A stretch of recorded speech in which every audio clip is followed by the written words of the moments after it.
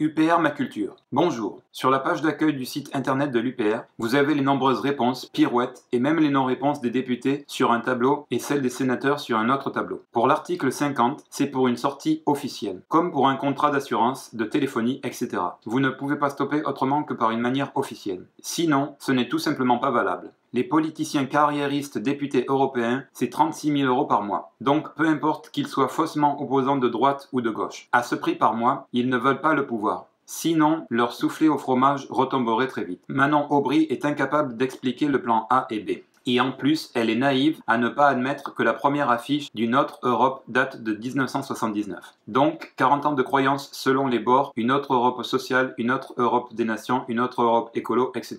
Bonjour et merci pour votre commentaire. J'ai consulté le tableau que vous m'indiquez. La seule réponse que je pourrais éventuellement comprendre est celle faite par le député Coquerel, à savoir que leur stratégie est la dissolution de l'Assemblée, mieux connue des Français et donc plus audible, semblant plus réaliste, alors que la procédure de destitution du président serait de toute façon un échec étant donné la majorité et que cet échec pourrait redonner de la force, une certaine légitimité de façade au président. Il reste que je pense qu'il faille faire feu de tout bois, ou au moins faire un sondage interne à la France insoumise pour savoir combien serait pour appliquer cette stratégie-là, celle proposée par l'UPR. Pour l'article 50, comme seule sortie officielle, vous prenez l'exemple d'un contrat, mais un contrat ne s'impose à vous que si vous l'avez accepté. Or, les Français ont rejeté le traité TCE, et s'il s'applique aujourd'hui, c'est parce que nous ne sommes pas en démocratie. Ma position est la même que celle de M. Chouard, si je l'ai bien compris, à savoir dénoncer le système actuel comme non démocratique. Du coup, toutes décisions prises par ce système sont nulles et non avenues. Manon Aubry explique très clairement la stratégie plan A, plan B. Je mets une vidéo en lien dans la description. Et pour que cela ne laisse plus aucun doute, j'ajoute aussi une autre vidéo expliquant la stratégie plan A, plan B en 6 minutes. Très clair. Sur le reste de votre commentaire, personne ayant accédé au pouvoir n'a essayé de changer l'actuel projet européen. Merci pour votre commentaire. Tess Lerme, c'est votre argumentation soit. J'y vois derrière le conditionnement Mélenchon. Tess, merci pour votre commentaire. Tout comme je pense que vous ne soyez pas conditionné par M. Assolino, car vous avez le sens critique, je vous assure ne pas être conditionné par M. Mélenchon, ni par personne d'autre. Merci pour votre commentaire.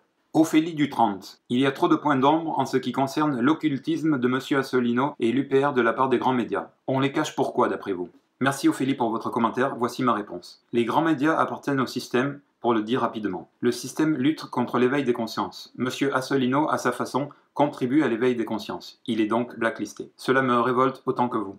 Merci pour votre commentaire.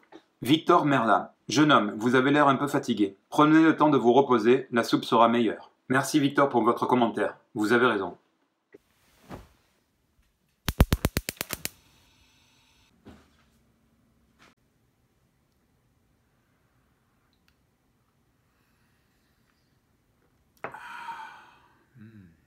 François Chambon. La France insoumise sur la question de l'Union européenne trahit ses électeurs pour une bonne raison en soi. C'est dans l'ADN de la franc-maçonnerie d'encourager l'union et Jean-Luc Mélenchon est franc-maçon, une très bonne chose en soi, mais en ce qui concerne le carcan de l'Union européenne, ils sont dans le dogme. Seul l'UPR propose de sortir du carcan de l'Union européenne et ainsi revendique un peuple souverain. Merci François. Monsieur Laurent Tilleul me faisant à peu près le même commentaire, je vais vous faire une réponse à tous les deux. Sur la franc-maçonnerie, puisque ce sujet revient souvent dans les commentaires, je pense que celui qui en parle le mieux, c'est encore le président de l'UPR. J'ai déjà dit 50 fois, et donc ça va être la 51e fois que je le dis, je ne suis pas franc-maçon. L'UPR, c'est la société française dans son ensemble. Nous avons des gens qui viennent de tous les horizons. Et nous avons aussi, eh bien, des francs-maçons.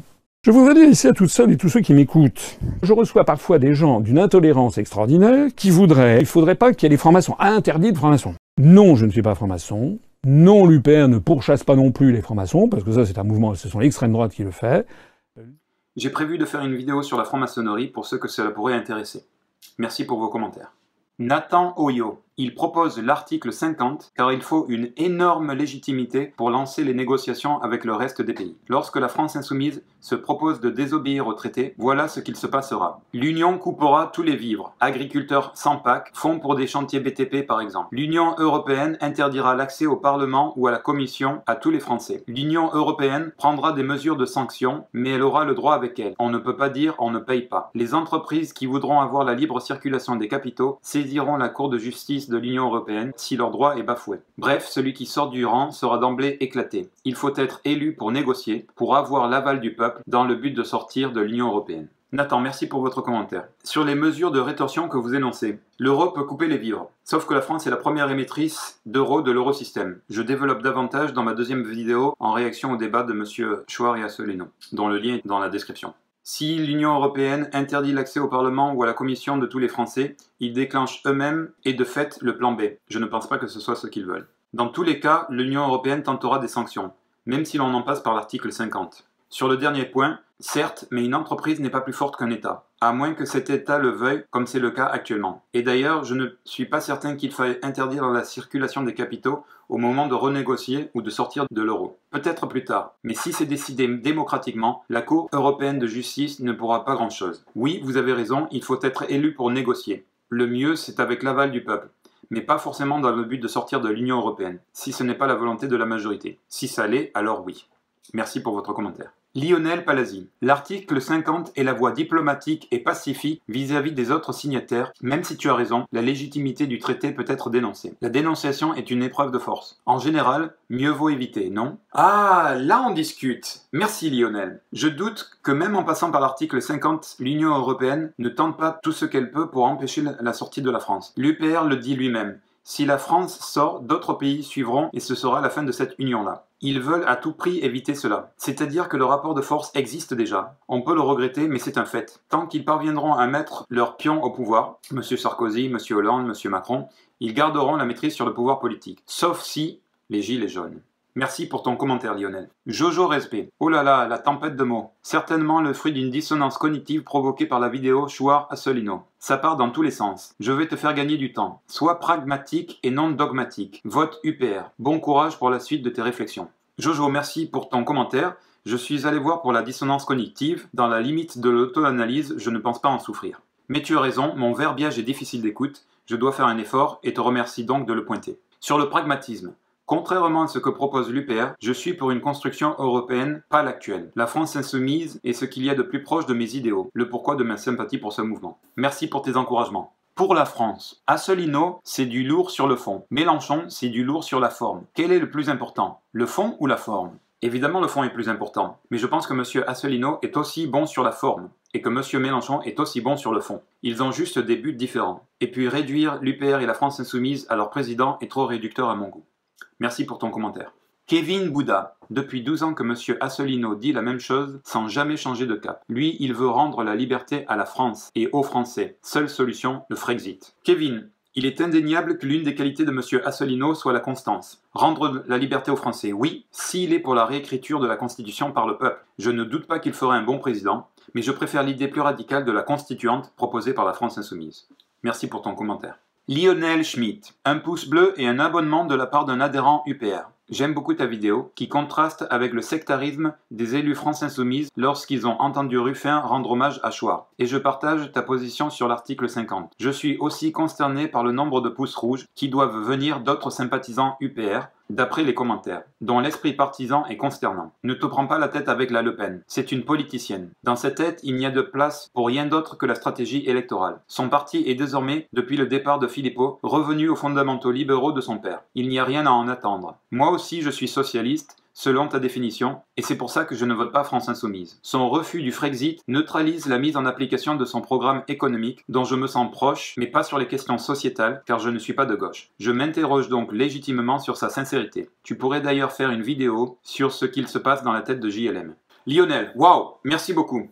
Je ne vais pas décerner de prix du meilleur commentaire parce que je les considère tous comme importants et donc égaux. Mais le tien m'a particulièrement touché. Non pas parce que tu te sois abonné, non pas parce que tu regrettes les pouces rouges, je les vois comme légitimes, une expression d'appréciation, non pas non plus parce que tu te retrouves dans les définitions du socialisme que j'ai partagé, ni même que tu te sentes proche du programme de la France insoumise, sauf sur les questions sociétales, mais pour ton ouverture d'esprit, ton honnêteté et ton apparente complexité. Parce que se dire socialiste sans être de gauche, ça m'intéresse. Pourrais-tu développer s'il te plaît en commentaire de cette vidéo, si tu le souhaites. Concernant la mise en application du programme de la France insoumise sans sortir de l'Union européenne.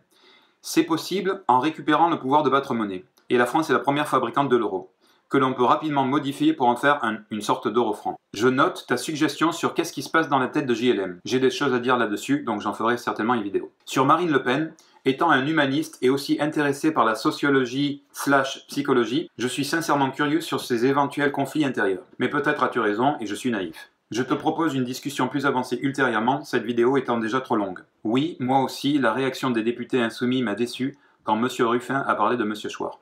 Merci pour ton commentaire. À toutes celles et ceux qui m'interpellent sur la séquence entre messieurs Mélenchon et Macron à Marseille, je vais faire court. Oui, M. Mélenchon s'est déballonné.